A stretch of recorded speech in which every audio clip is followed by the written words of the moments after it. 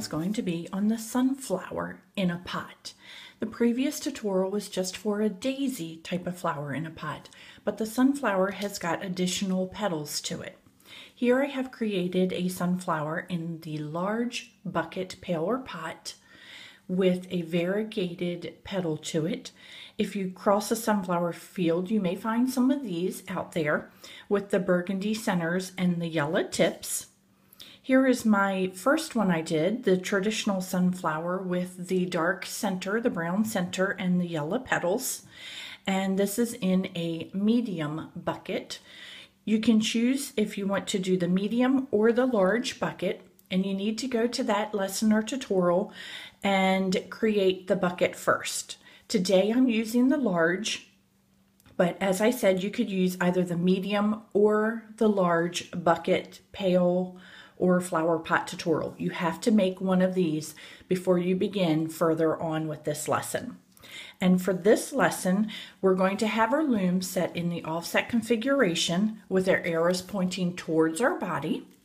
We're going to be using about 180 yellow for the petals, the outside of the petals.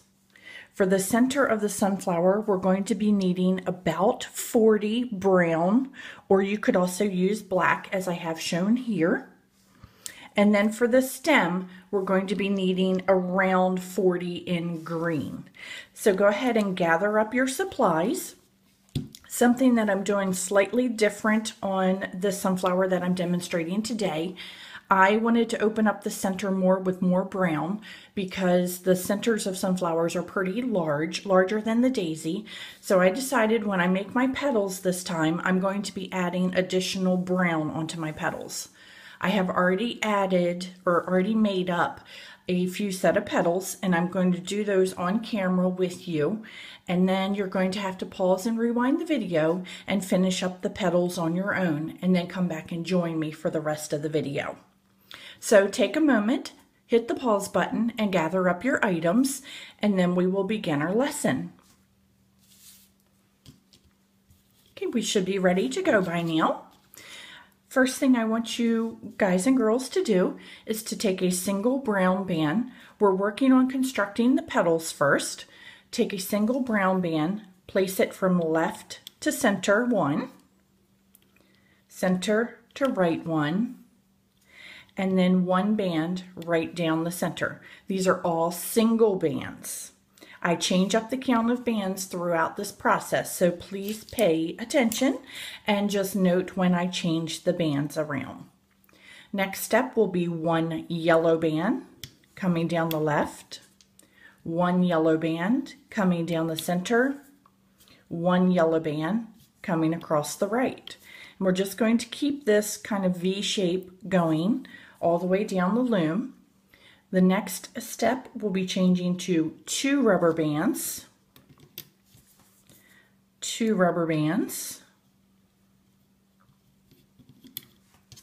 and two rubber bands on the right. I'm going to change count on you again, and we're changing to three rubber bands,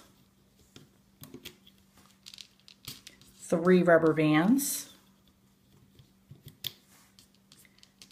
and three rubber bands. Next, we're going to change to two rubber bands again, two rubber bands, and two rubber bands. And we're going to cap each one of these off with a three-time cap band.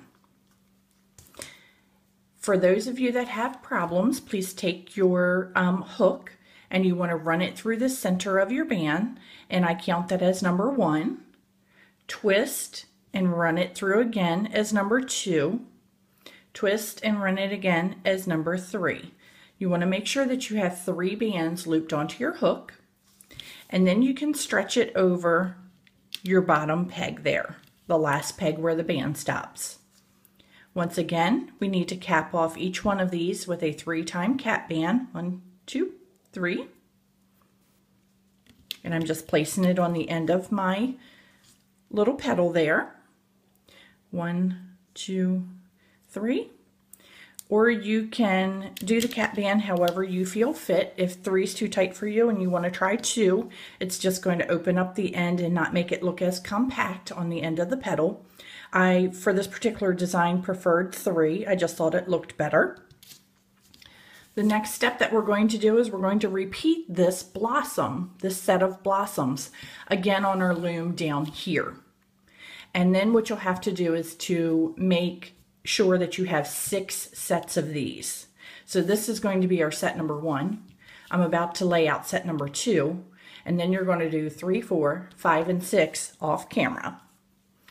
We're going to begin again, just skipping a peg, and we're going to go from left to center in a diagonal, right to center in a diagonal, and center. All of these are a single brown band. A single yellow coming down the left, a single yellow in the center, a single yellow on the right.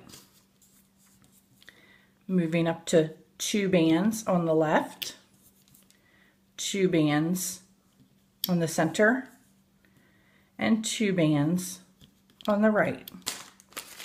Bear with me while I make a little bit of noise.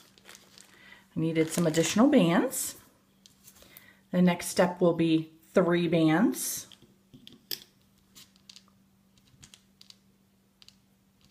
Three bands and three more bands. Now we're going to switch back to two, two,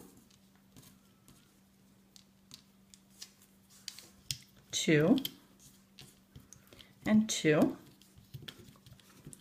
and cap each one of these off with a three-time cap band. One, two, three. Stretch that out over your peg one, two, three. Ouch. Stretch that out over your peg. One, two, three. And stretch that out over your peg. So each one of these are capped off with a three-time cap band. Now we're going to loom up the set of petals. We don't need to place any horizontals in because that's what's giving it the spread and the true petal look to it.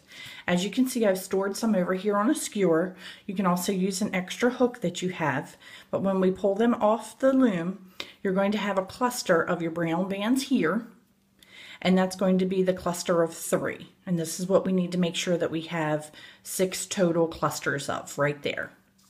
So let's begin to loom our creation by reaching in and pushing back that three-time cap band, grabbing the bottom two bands, and we're going to loop forward once. We're going to reach in, grab our three bands, and loop forward once. Reach in, grab your two bands, loop forward once. Reach in, grab that single band, loop forward once. Reach in, grab that brown band, and reach over to the center diagonal. Then we're just going to start down here at the bottom again with the center, pushing back that cap band, grabbing the three band, I'm sorry, that was two bands, Reach in, grab the three bands. This is just straightforward, very simple looping.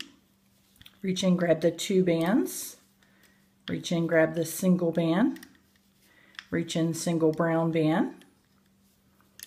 And we need to finish the right side. Reaching in, grabbing the two bands, pulling them out of the cap band. Come forward. Three bands.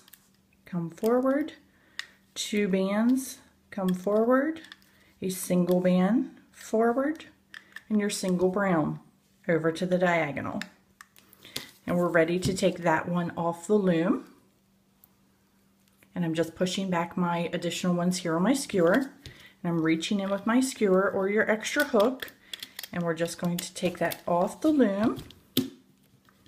Some places might be a little tight because we did have um, triple bands on there but that is going to be one section of our petal that we're going to apply to the center of our um, flower once we construct the flower portion. We're going to finish looming this top portion, an extra set, reaching in on the left side, pushing back that three-time cap band, and pulling out those two bands. Forward, grabbing three bands. Loop forward, grabbing the two bands. Loop forward, grabbing the single band. We've reached the brown and we want to come over to the center diagonal. Next we can do the center, reaching in, grabbing the two bands on the bottom, the only bands that are there, three bands, two bands, a single band, and a brown band. Over to this other side, pushing back that cap band, grabbing two bands, grabbing three bands, and I had only grabbed two, so I'm just picking up my third one. Grabbing two bands, grabbing a single band, and we're grabbing our brown band and coming across to the diagonal. I'm going to reach in with my skewer again, and I'm just going to take off this petal creation and store it, straightening up things as I need to if your band's got a little twisted. I like to do my maintenance along the way so I don't have a lot of stuff to do at the end. So here we go. You have already done two sets of petals, but we need to do six sets. So hit pause here and rewind the video and load up your loom with another set of petals and another set of petals and then again with another set of petals and another set of petals and you will have a set of six petals done and then you'll be able to come back here and construct the rest of the flower. So I'll see you guys back in just a little bit. Hey guys, welcome back for part two of the sunflower. Next we're going to be constructing the starburst type. It's not an exact starburst, but it's a starburst style of center. We're going to be adding the stem and then we are going to finish off with our bucket and cap it up and loom it up. I have a little bit of trivia for you. The state that I live in, its state flower is called a black-eyed Susan, which resembles a sunflower quite a bit. And that is why I decided that my prototype was going to be sort of like a black-eyed Susan slash sunflower because that is the state flower for Maryland where I live. So that's a little bit of trivia for you.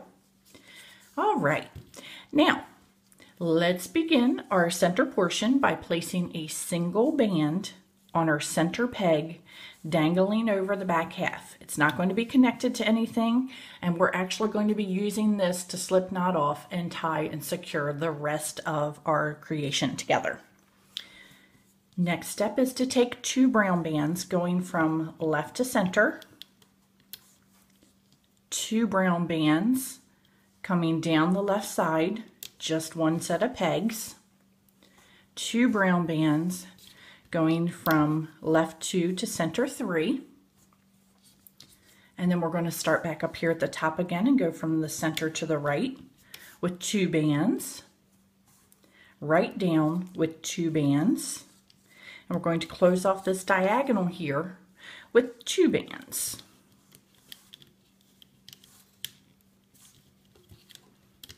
And I had placed three on so I'm just taking those off but that's two bands. So that was two bands coming to the left two bands coming down the left side two bands coming across to the diagonal two bands on the right two bands coming down two bands on the right at a diagonal. Our next step is going to be to fill in the center of the starburst portion you're going to take a single band and we're going to start off up here at the top, placing it on the center peg and we're going to go up to the top peg. Then we're going to radiate from the center peg with one band over to right number one and you want to push these guys down some. Center peg, we're going to radiate to right number two. Center peg, we're going to radiate down to center three center peg, we're going to come over to left two, and center peg up to left one. So we just sort of laid out our bands in a clockwise um, position, clockwise turn, and our next step is going to be to lay out the rest of the stem area. For the stem area, we do need to do a couple extra steps. It makes securing your creation a lot easier, a lot sturdier, and simpler. So the first step for that, and I'm going to move my loom out of the way so we can see what's going on slightly. The first step for that is to take a single band, I'm using green, wrap it around your hook three times. Make sure that you see three bands on your hook. And then we're going to take three bands and we're going to pull through that band that we just twisted on our hook. So here we have three bands with the set of three twisted on in the center. And then we're going to lay that on our loom. Right down the center peg. So here we have our starburst set up. And on the center peg, I've laid that three twist band here in the center of three bands. We're going to have to do that all the way down the loom. Makes 10 times. So again, one band, twist around your hook to make it look like there are three on your hook. Pull through three bands. And then just place it on the loom coming down. We're just going to come straight down all the way down the center.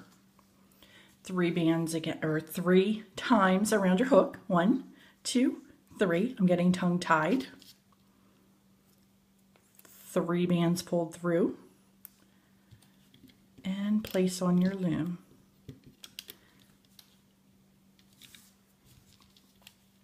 Again, one, two, three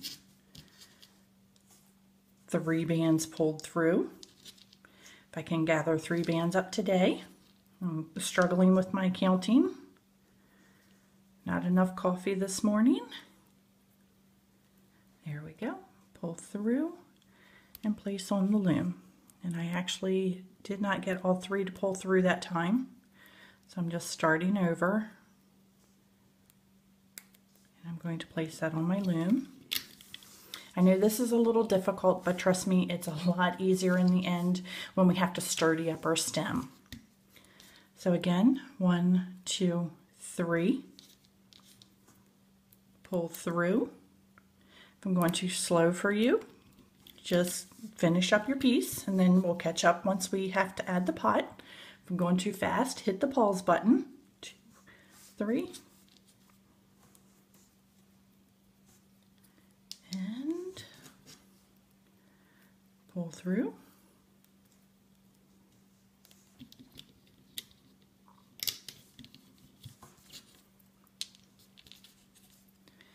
One, two, three, and pull through.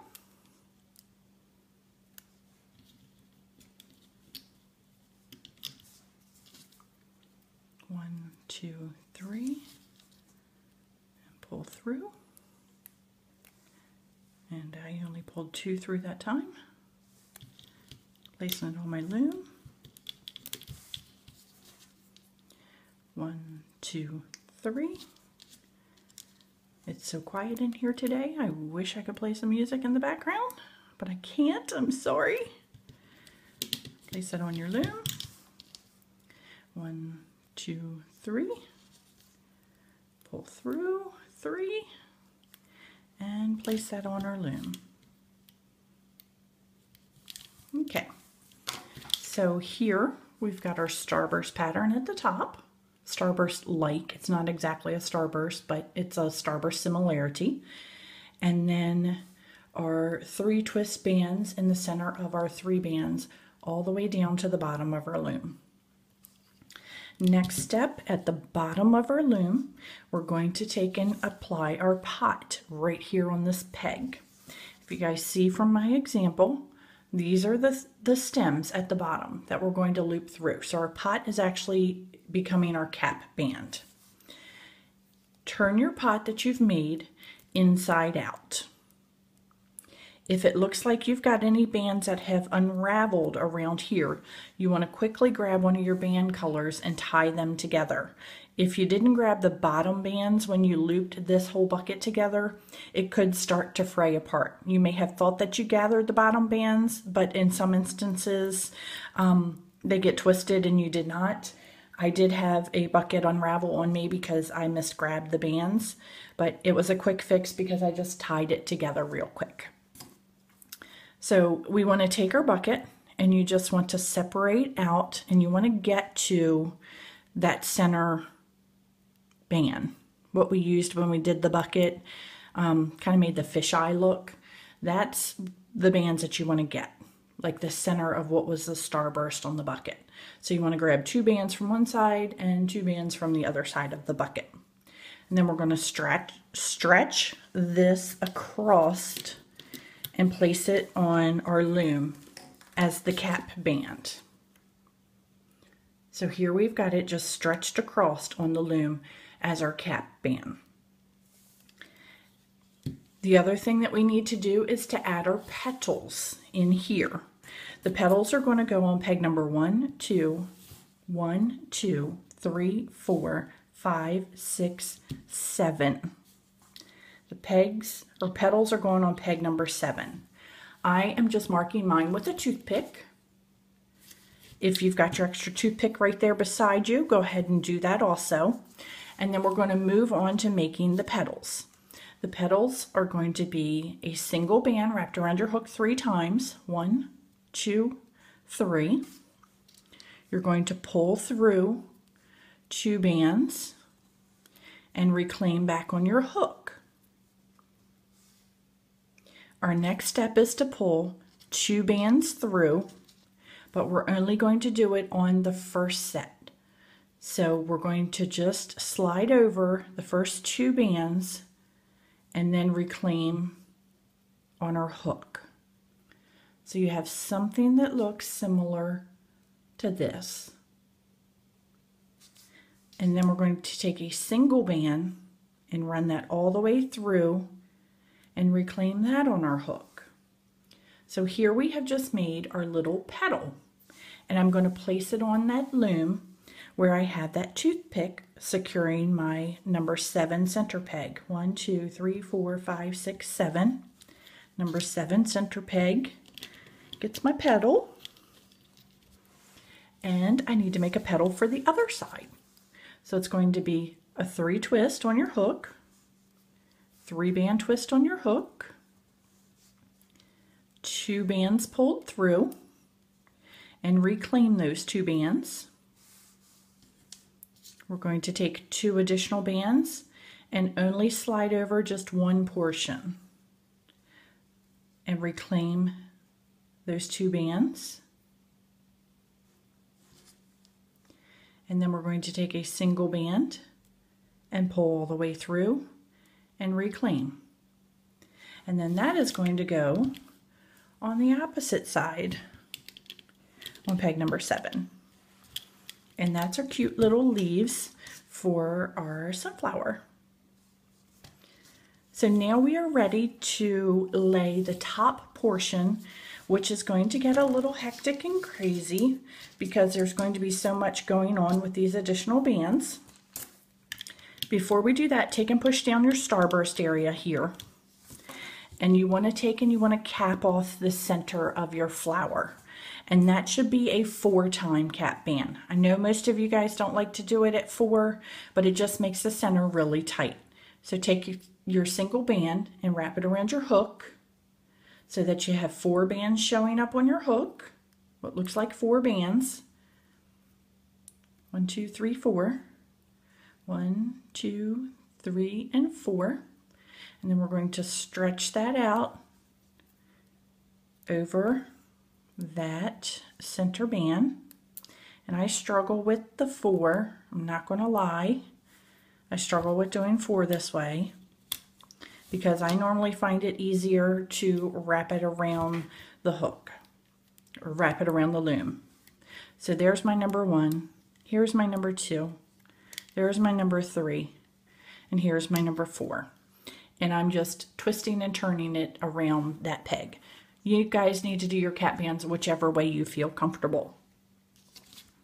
So now that we have our cap band on there, we're going to add our petals. And our petals are going to go on each one of these six pegs. So you want to grab your petal set and we're going to stretch it across every peg that we have here. I'm grabbing my next set of petals, my next set of three petals, and I'm going to stretch that across another peg, my next set of three petals, and I'm going to stretch that across. You want to make sure that you get all of those bands that are down there. There's a lot of them. And this looming portion up here is going to be pretty tough. I will go slow. I will do my best to explain everything well. Next set of three petals on our loom. And I have to turn my loom slightly because I'm having a hard time reaching that other side. And next set of three petals stretched out on our loom. And then the center. Ooh, you guys are not going to like that one. Stretch out your three bands, especially when we go to loop. Oops, you know what? We don't need to add that one yet. We can't add that one yet because we need to loop the stem. So just set this aside. Sorry about that. See, I make mistakes too. We can't loop that until after we have um, looped up the, the stem. So go ahead and place your bands on the other five and we're going to add number six in just a minute. So let's move on back down here to the bottom of our loom. We're going to loop our stem up till we get to the brown. So you're going to push back your bucket color, push back everything there at the bucket, grabbing the bottom three bands and coming straight forward. This is very simple, easy looping, pushing back the bands, grabbing the bottom three, and I had only grabbed two then, but you want to grab your bottom three bands in each one of these and just loop straight forward. I'm just grabbing the bottom three bands. Now I've reached the leaf area and this is going to be a tight and congested one. So you may want to just stretch out your petals a little bit, your leaves, and we're going to push back those leaf bands and we're reaching in beyond that leaf See if I can get that out of the way. And it's not going to stay out of the way. But you want to grab the bottom three bands, pushing back everything else and grabbing the bottom three and looping forward. I'm just making sure I had three there. Bottom three bands, loop forward. Bottom three bands, loop forward. Bottom three bands and loop forward. And now we have completed our stem. And now we need to add our petals. That last set of petals. And we're going to add that right there. And I want to let you guys know that there is a lot, a lot, a lot, a lot on that peg. You are not going to like working within this peg. I'm going to warn you now, and I'm going to go really slow when I get to it. So our next step is to finish off the top of our sunflower.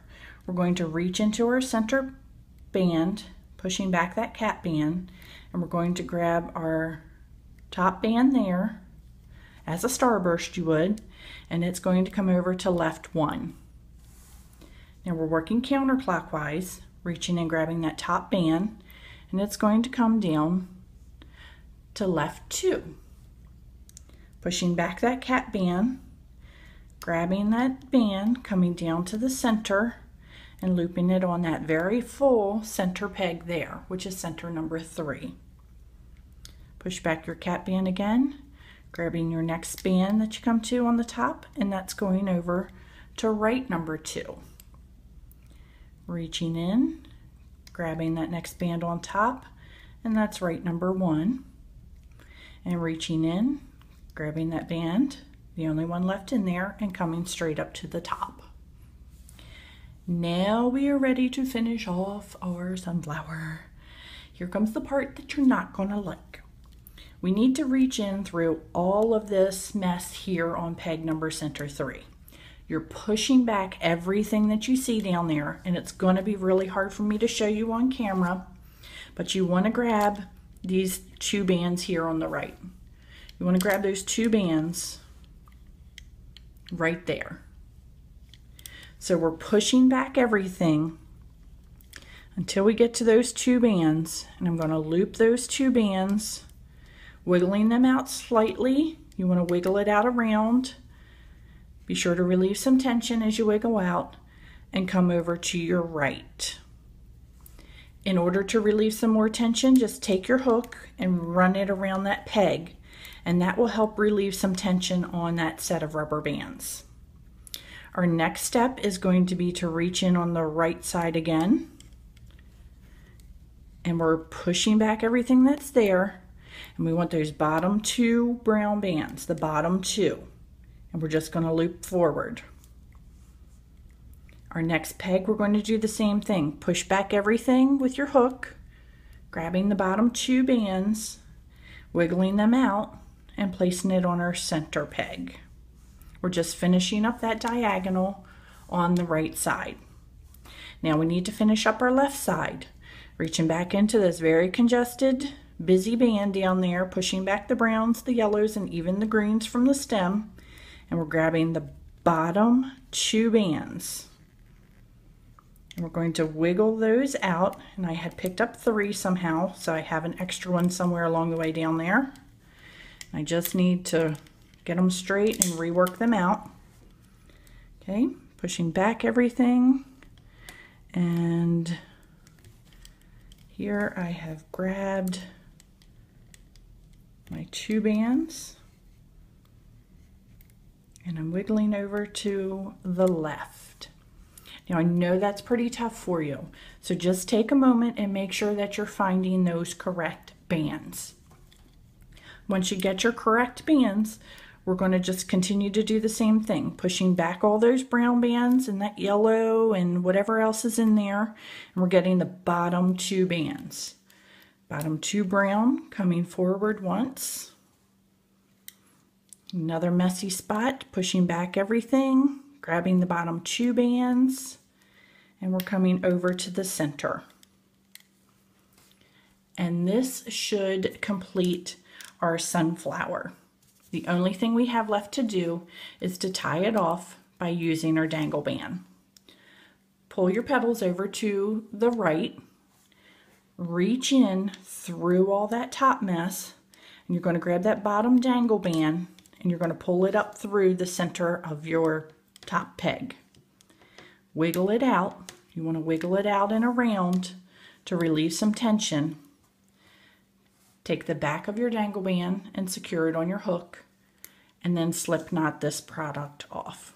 Slip knot it off right there to the left side. Now we're ready to take it off. Cross our fingers that we didn't miss any loops and it doesn't fall apart on us. I use the back of my hook or you can use your skewer just because there's so much tension on this entire daisy head or sunflower head. And then as we come down the loom, I still like to use my hook because it doesn't twist the bands up as bad. I'm working all the way down here to the bottom, reach the pot, and I'm going to worry about straightening up the top of the sunflower in just a minute. The next step I want you guys to do is to place the toothpick in. If you don't have a toothpick and you want to use wire, you can do that too. But we're going to be running the toothpick down the set of three bands on the back. So just slide your toothpick in, picking up those three bands. And this is what I was talking about. It makes it so much easier to run your um, toothpick or your supporting beam through. So we're just going to run it all the way through to the end of the green, stretching it out slightly. You can also take and poke that toothpick back in the head of the sunflower. It'll give it more support. And our bucket is inside out still. So we just need to take and we need to turn our bucket the correct way And here we have got our gorgeous crazy sunflower. And depending upon how um, tight your bands are, I didn't use the best brown bands here. They're a lower quality. Depending upon the tightness of your bands will depend upon how floppy your flower is. But here we have got our sunflower. Here we've got the sunflower done with the variegated and the darker center. If you're having problems getting your bucket to stand up, as this one is, I found a great kind of trick. How many of us have extra C-clips around or S-clips or any type of clips? You can take a bag of clips, open up your bag of clips, and dump it in your bucket. Dump these clips into your bucket.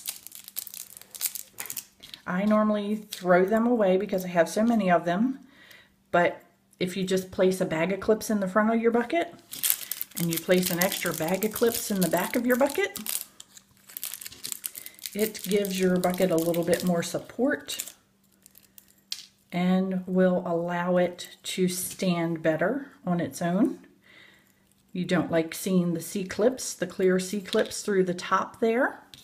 I have another little trick for you because you can still see the C-clips. Just simply take some of your green rubber bands and push them down in there with your C-clips and that will just sort of cover up the clearness of those clips. Just randomly tuck some in And it also makes it look kind of weedy and leafy and grassy when you do that. But now our bucket will be able to stand and with a little bit of fiddling, and it's very hard to get the angle here, but with a little bit of fiddling and figuring things out there, getting your bucket to stand will be pretty easy. There, I just got it. Um, but here we have our sunflower. Please post your creations on my Facebook page, Crafty Ladybug dash Rainbow Loom Creations, or my website is craftyladybugcreations.com. And also I have Instagram. You can tag me there at craftyladybug. So I hope you guys have enjoyed this sunflower, and I look forward to seeing your pictures and posts of them. Thanks so much, and I'll be seeing you soon.